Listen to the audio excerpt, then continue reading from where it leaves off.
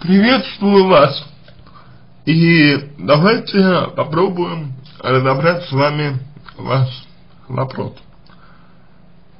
А, вы пишете, хотелось бы научиться не зависеть от чужого мнения и не обращать внимания на кривотолки в свой адрес.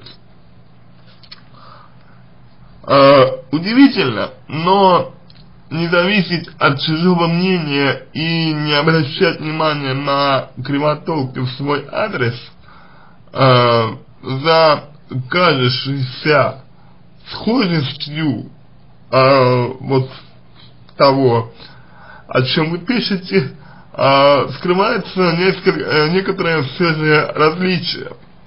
И это различие связано с тем, что э, сплетни выражаются в э, неверном понимании того, э, почему люди это делают, чем э, люди, например, руководствуются, когда э, сплетничают, и, э, например, и так далее.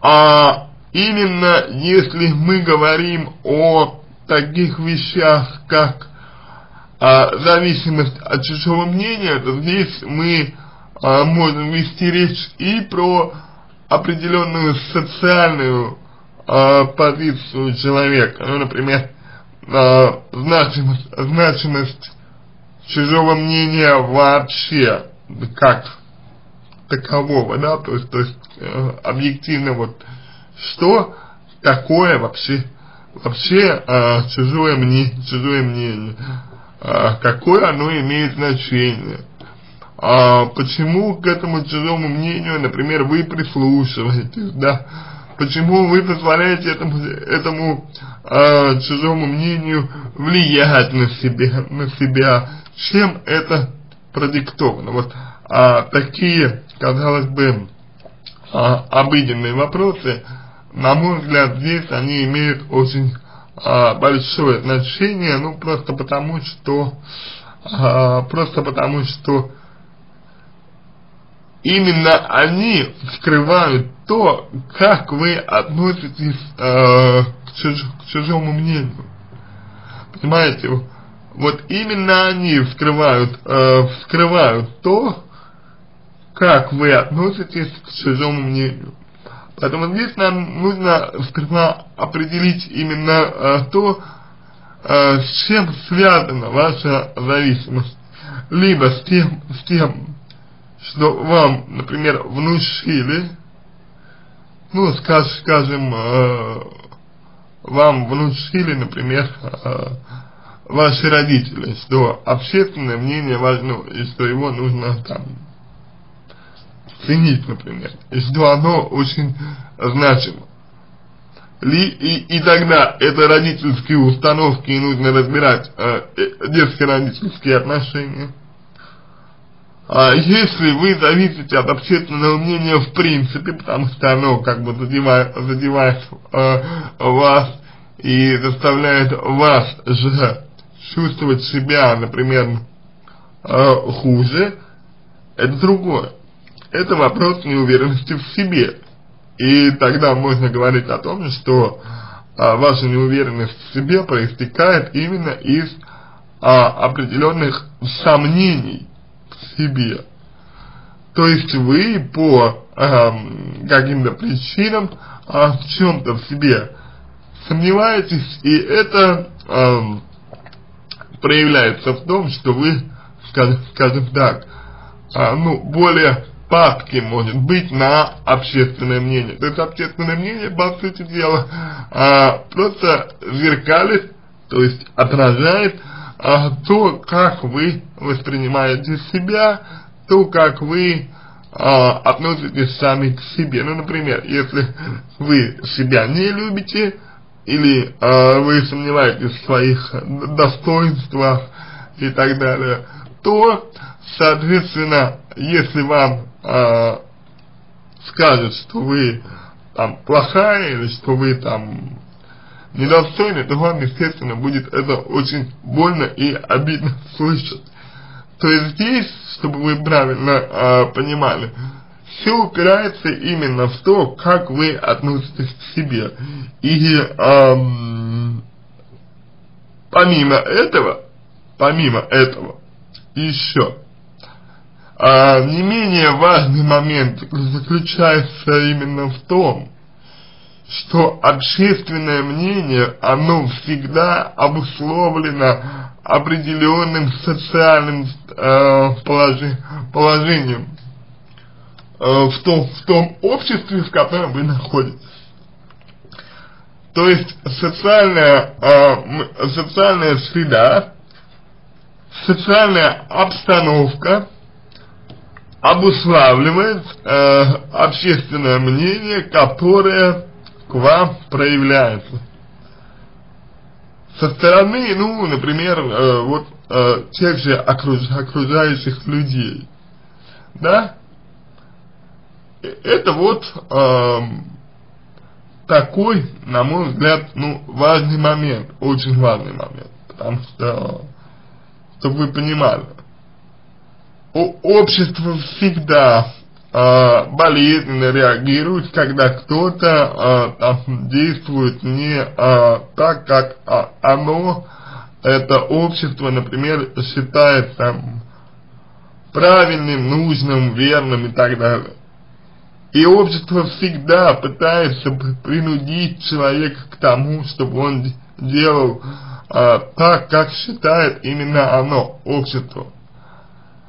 А оно всегда пытается человека заставить поступать так, как э, хочет оно, а не человек. И это нужно понимать. Тако, таков закон общества. Так оно, я имею в виду общество, себя защищает. Вот это вам нужно э, постараться понять что именно так общество защищает свою целостность. И оно будет, оно будет всегда осуждать вас. Но не потому, что вы, например, плохая, не потому, что вы, например, э, там, ну, э, какая-нибудь э, недостойная, да, и так далее. Нет общество будет вас осуждать потому, что оно не приемлет любое отклоняющееся, иными словами, девиантное поведение, чем то, которое принято в нем, потому что это несет угрозу. Угрозу для общества с одной стороны и а, соблазн для членов общества поступить так, как, эм, например, поступаете вы, поступить так, как поступаете вы, э, и тем самым э, сломать, ну, скажем так, сломать э, определенный шаблон. Вот это нужно вам э, для себя постараться уяснить. И одновременно с этим э, ваша уверенность в себе принятие, принятие, э, принятие себя и так далее, это вот нужно обязательно проработать. Далее, если мы говорим с вами о таких вещах, как кривотолки в свой адрес, то кривотолки, если я правильно вас а, понимаю, это сплетни. Кривотолки это сплетни. Если это сплетни, то а, нужно подумать, вообще-то говоря, а почему люди а, сплетнями занимаются вообще? Почему люди начинают сплетничать? А, почему люди а, увлекаются вот этими вот этими вот а, вещами, там э, сплетнями и так далее. Чем продиктовано подобное поведение? Подобное поведение продиктовано, во-первых, всегда пустотой своей э, жизни. Это первый и важный аспект. второй аспект а, стремлением эм, осуждать друг другого э, человека, стремление осуждать другого человека. Потому что, ну, когда осуждаешь другого человека сам, то самому, самому себе в этот момент кажешься, ну, куда более, э, куда более э, лучше, куда более интереснее, куда более правильнее, ну и так далее, и так далее. А вот. И, а, собственно, еще причина, по которой а, люди строят сплетни, это а, желание, а, значит, заполнить свою, свою, свою жизнь. Желание сделать ее более полной, желание наполнить ее иллюзией определенной. Вот а, мне хотелось бы, чтобы вы это поняли. И и кривотолки о вас, они а, на самом деле будут а, всегда. Они будут всегда, они будут а, вне зависимости от того, что вы будете делать и как вы будете вообще э, себя вести. Тут нужно понимать, что кривотолки нужны людям, не вам, а людям кривотолки нужны именно людям. Люди нуждаются в кривотолках. Понимаете, в чем дело? Именно люди. А раз так, то что бы вы, что бы вы ни делали, э, как бы вы себя не вели, все равно придется сталкиваться с тем, что эм, о вас будут ходить какие-то слухи. Все равно. И вот это, я надеюсь, я очень надеюсь, вы постараетесь э, для себя понять. Как реагировать на э, кривотолки? На кривотолки стоит реагировать таким образом, что э, это фильтр, своего рода это фильтр, который помогает вам отсеивать а, людей ненужных вам. Потому что если люди прислушиваются к сплетням, если люди прислушиваются а, к слухам, которые кто-либо распространяет про другого, то это, этот человек очень Э, внушаемый, внушаемый, и его легко настроить против другого, другого просто путем предоставления такой вот информации, а, ну не совсем позитивной, скажем, о человеке. Вот и попробуйте задать себе вопрос, нужен ли вам э, такой человек именно в вашем окружении. Это первое. Второе, второе, а, постарайтесь подумать о том, раз сплетничают, значит вы привлекаете внимание. Раз а, вы привлекаете внимание, значит вы общественно значимы, как бы. А если вы общественно значимы, значит, вы идете верным путем. Но у людей, к сожалению, есть такие чувства, как зависть, зависть э, нежелание признать там успешность других э, и так далее. И в, в этом случае вам нужно просто принять, что дело не в вас, а в них. Это они так реагируют на то, что а, вы ведете некую общественно значимую а, жизнь свою. И это на самом деле именно их проблема. Это их проблема, проблема этих людей, а не ваша. Я надеюсь, что вы а, вот этот момент, момент постарайтесь а, понять, постарайтесь его осмыслить. Иными словами, иными словами, а, что происходит?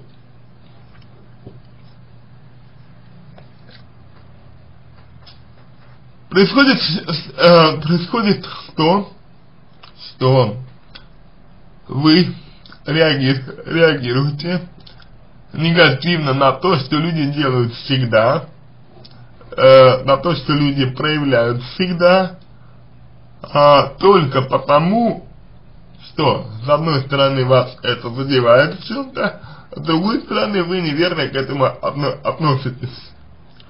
И здесь здесь, по моему мнению, а, можно говорить о том, вот как это видится мне, да, а, можно говорить, говорить о том, что вам нужно менять к этому отношение. Именно изменение отношения к тому, что происходит, без возможности поменять саму ситуацию, является единственным выходом э, э, в данной ситуации, в данном аспекте для вас. Вопрос, вопрос в том, хотите ли вы это делать. Вот это, на мой взгляд, э, важный вопрос. Потому что э, я просмотрел э, ваши предыдущие вопросы, а вы довольно коротко их э, задаете. У вас э, достаточно маленький э, уровень рефлексии, как это мне пока показалось. Вот. Тогда как э, психолог работает э, с информацией, которая предоставляет ему клиент. И это на самом деле э, подход, а я бы сказал, э, не самый эм, конструктивный к решению своей проблематики. Потому что вы живете в, э, в зависимости от общественного мнения уже какое-то продолжительное время. Вы живете в нем. И, соответственно, вот так сразу, сходу вы а, не сможете научиться. Научение происходит путем а, тренировки, путем, путем а, применения навыков, а это работа, это работа над собой, это развитие, это а, взлет, но это и падение. Падение я имею в виду в том плане, что по теории оперантного научения а, человек при осваивании а, чего-то нового для себя может, может испытывать определенную регрессию. А, в данном случае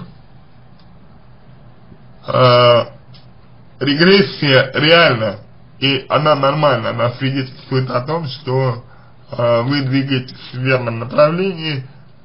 А вопрос в том, как вы сами оцениваете, как вы сами э, относитесь э, к самому процессу научения. Далее, вы говорите, э, значит, э, за внешне сильной и самостоятельной женщиной скрываются вот такие неприятности.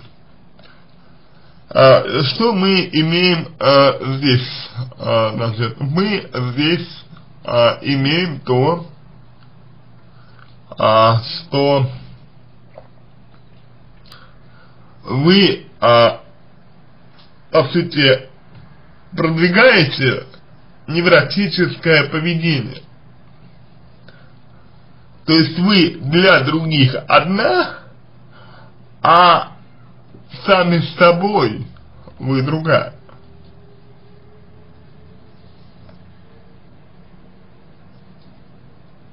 И это плохо для вас. Потому что нужно всегда, везде, со всеми быть одной. Для этого нужно понять, какая же вы. Почему вы хотите э, именно казаться сильной и самостоятельной женщиной, когда в действительности вы ей не являетесь? Для чего? Что вами движет? И за, э, зависимость от чужого мнения и кривотолки это обычное явление. И это нормально. Как нормально обращать на него внимание в известной степени. Но вы-то, получается, ставите себе целью быть сильной и самостоятельной. Вопрос в том, для чего? Не является ли подобный вектор вашего развития, а, скажем, реакционным поведением на страх, на страх, ну, того, что вами, например, воспользуются, на страх того, например, что э, за ваш счет как-то там выгоду человек получит и так далее. То есть вот здесь нужно обязательно смотреть на соотношение того образа, который вы э, выстраиваете для других, и того, как вы видите сами себя, и э, определить причины наличия разницы между этими двумя ипостасями э, вас э, по отношению к себе и по отношению э, к э, другим людям. Если эта разница будет видна, если эту разницу убрать, то я, я думаю, вы придете к определенной гармонии с собой, и уже тогда можно будет говорить о том, а, плохо ли для вас зависеть от чужого мнения и обращать внимание на кривотолки свой адрес или нет. То есть я имею в виду, я имею в виду, что иногда чужое мнение содержит элементы конструктивной критики. И я имею в виду, что иногда кривотолки тоже содержат элемент конструктивной критики. Важно это дифференцировать, чтобы э, корректировать свое поведение. Но для того, чтобы не зависеть от чужого мнения и чтобы не обращать внимания на кривотолку в свой адрес, нужно быть уверенным в себе человеком. Чтобы быть уверенным в себе человеком, нужно, во-первых, приним, э, принимать себя таки, таким, э, какой он есть, в моем случае, в моем примере это человек, и э, второе, это не сомневаться в себе, и если эти сомнения есть, то постараться определить, в чем суть этих сомнений, в чем они заключаются, эти сомнения, и что можно сделать, чтобы эти сомнения развеять. Вот так, я думаю, вам э, нужно будет э, поступать. То понимаете, ваш запрос – он вообще-то на долгосрочную работу, а не на такой вот ответ сиюминутный здесь и сейчас. Если бы вы доставили больше информации, можно было бы понять, э, что именно вас беспокоит. Какого рода, э, например, кривотолки. Может быть, это очевидная зависть, зависть может быть это очевидное непринятие вашего поведения и так далее. Но ваш вопрос, он слишком общий, поэтому и ответ на него тоже общий. А если вы, если вы хотите, чтобы ответ был более конкретным для вас, то необходимо, чтобы вы сами предоставили больше информации. Например, всегда ли, ли, всегда ли вы зависели от чужого мнения? Если нет, то э, с какого момента? Если всегда, то когда это стали замечать и чем это было обусловлено? А если вы не обра э, обращаете внимание на кривотолки, также вопрос. Когда вы начали обращать внимание на кривотолки, чем это было обусловлено? Несмотря на все-таки разную природу одного и другого, именно вас эти два элемента обусловлены одним критерием. И этот один критерий именно неуверенность в себе. Вот именно с неуверенностью в себе и нужно работать. Э, это терапия, психотерапия. На этом все, надеюсь, помог вам. Если какие-то вопросы остались, пишите в личку, буду рад помочь. Если понравился мой ответ, буду благодарен, если сделаете его лучшим. Желаю вам всего самого доброго и удачи.